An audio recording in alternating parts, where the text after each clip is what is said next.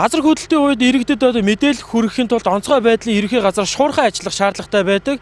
Өөрөөр хэлбэл Улаанбаатар хот болон аслагдсан 3 дүүрэгт нийтдээ 60 ширхэг цамхаг одоо хоолоогоор иргэдэд одоо шуурхай мэдээллийг хүргэх ёстой маа. Тэгвэл үүнээс гадна энэхүү явуулын станц бас хөдөө орон нутгуудад ажиллах боломжтой. Харин энэхүү мэдээллийг шуурхай хүргэхийн тулд 10 FM гурван телевизийг одоо шууд эфирийг нь хааж шуурхай мэдээллийг ард иргэдэд хүргэх боломжтой байдаг байна.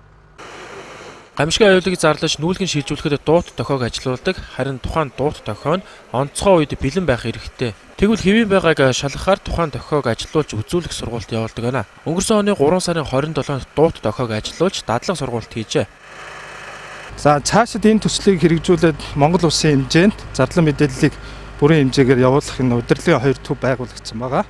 Хөрөнгө мөнгөний асуудал шийдэгдээд явдсан бол аймаг сундуудыг бас холбох бүрэн боломж байгаа бидэнд газар хөдлөлтийн сенсоруудаас одоо Улаанбаатар хотын Улаанбаатар хотын газар хөдлөлтийг мэдрэх сенсорууд байгаа. Улаанбаатар хотоос 300 км зайд байгаа 12 сенсороос мэдээлэл аваад тэгээд энэ цамхгаар болон телевизүүд рүү явуулахад 10-аас 12 секундэд бол бид нэр шууд эфирт гараад зардал мэдээлэл хүргэх боломж байгаа бидэнд.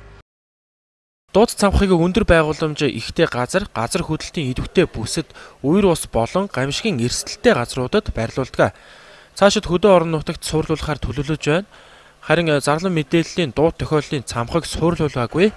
Сул сонсогдож байгаа аслагдсан дүүрэг хороодод онцгой байдал цагдаа эмнэлгийн яаралтай тусламжийн машины дууд тохиолол чанга яригчаар иргэдэд хүргэж болдог.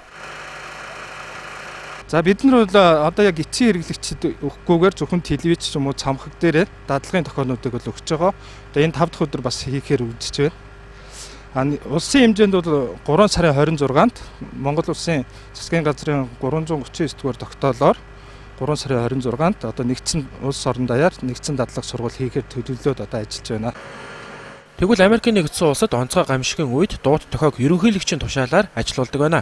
Ингэхдээ 10 минутын дотор зарлан мэдээлэх боломжтой байдаг. Америкийн нэгдсэн улс манай улстай мөн адил телевиз, радиогийн шууд эфирийг хааж сэрэмжлүүлэг мэдээллийг хүргэдэг юм а.